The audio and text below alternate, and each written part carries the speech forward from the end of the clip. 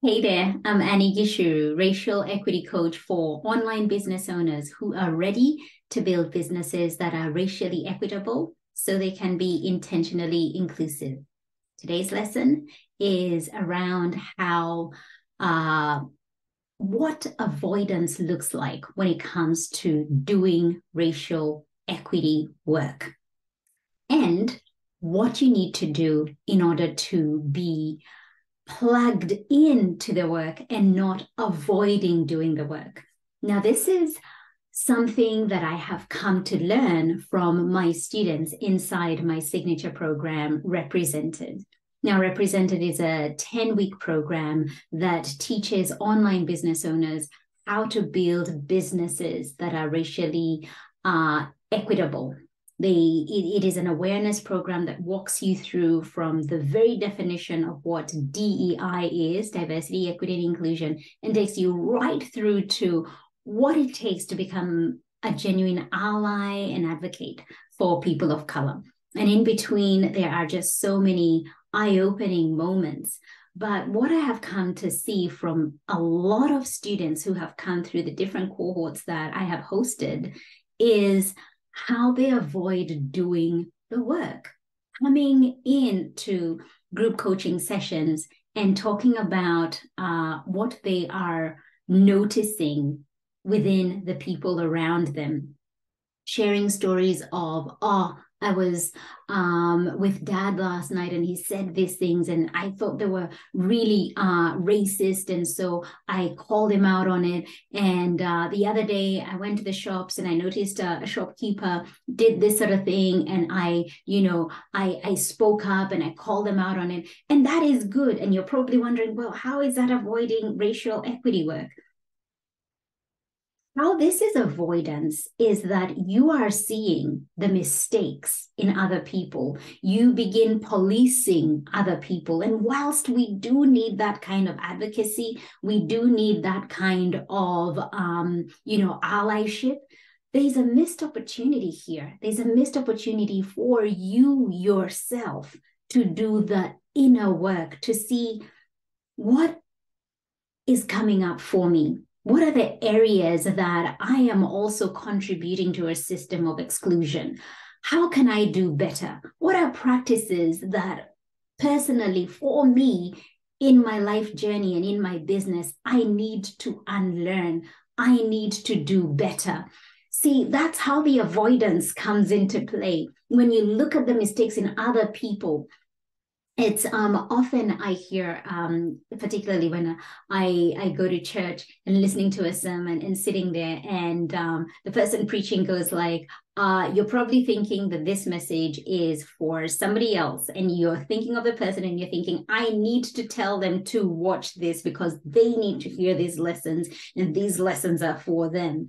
And in actual fact, the lessons are for you and not necessarily for that other person. They might be, but what are you taking away? And so this becomes uh, a missed opportunity for you, the person who is inside that program where you're learning about racial equity and you start being the educator the teacher to the people around you and telling them you're doing this wrong or this is you know not correct this is what we should be doing this is what's harmful you're not doing the work. You have avoided the work and you've become the racial equity police around your sphere of influence. And you end up missing the whole point. You end up missing the whole idea.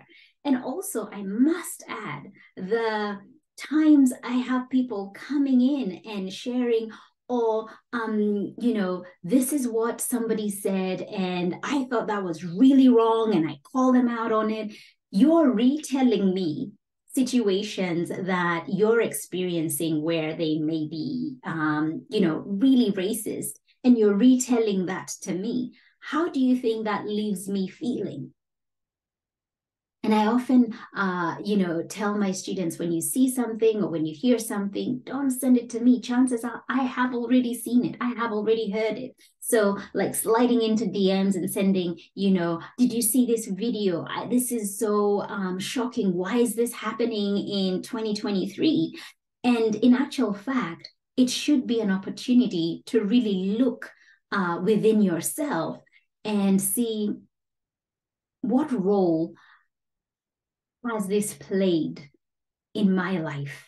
What action am I going to take from here? What conversations am I going to have within my sphere of influence about the things that are coming up for me? Where am I able to articulate my values and the things that are important to me? What difference will I make?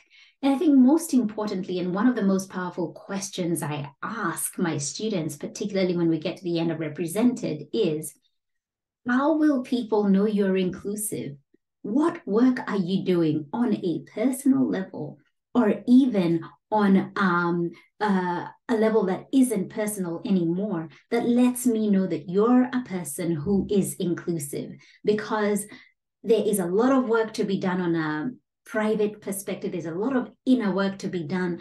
But at some point, there needs to be something that allows people to know that you're an inclusive person you're somebody that I would feel safe in the space. And although we cannot promise safety because safety means different things to different people, and we cannot entirely be safe, safe to everyone, but is there something that tells me that this work is important to you? Is there something that signals to people with marginalized identities that you are somebody who values the work of inclusivity, the work of equity, the work of um, making people feel welcome who come from diverse and different backgrounds? And so avoidance, I believe, is one of the tactics that a lot of white um, online business owners are using to not feel the pinch or the pain, the shame, the guilt, the judgment that comes with doing all of this work. And if you've been following me for some time, you will know that I do not believe in shaming. I do not believe in, uh, you know, being judgmental to people and making them feel guilty for their belief system. What I truly advocate for and believe is educating and doing so with love, doing so with grace, allowing people to uh, come to this work as they are, messy, wobbly, not knowing what they need to know, but allowing them to come as they are, correcting them in love, and hoping that they are not repeating the offenses that they're making, that they're learning from their mistakes and doing better. And I think when we meet people where they're at, there is that greater opportunity for them to remain in this work, do this work, and for us to begin to move the needle as far as racial equity work goes within the online coaching space, within the online um, industries that we are a part of as online business owners. And so I would love you to take a moment and think right now are there times where you have avoided um, racial equity work in the name of doing the work where you have been the one you know policing people uh, reporting back and saying this is what i saw this is what happened but not really doing the inner work? This is what i'd encourage you to do is to take the time and reflect and do some self interrogation of what are the things that are coming up for you that are causing you to not do that inner personal work, but causing you to look at what others are doing and pointing it out at them. And then this is work that I invite you to join me inside Represented.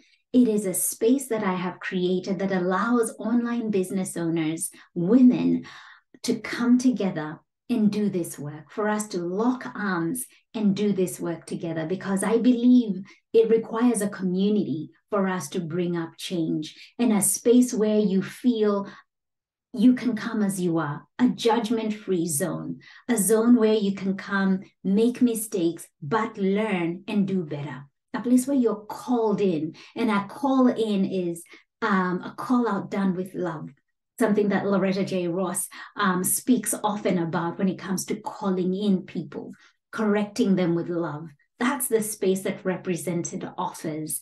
And for a limited amount of time, I am offering $200 off the price of Represented until 30th of June. This is an end of financial year special, and I would love to have you inside Represented so that we can do this necessary work together where you're not deflecting or looking at other people and how they're getting it wrong and you trying to police them and, and, and trying to correct them but you're actually beginning the journey of doing that inner work that difficult but necessary work that you need to work on personally. And i would love the opportunity to journey there with you and to support you and to gently hold you accountable but firmly take this journey together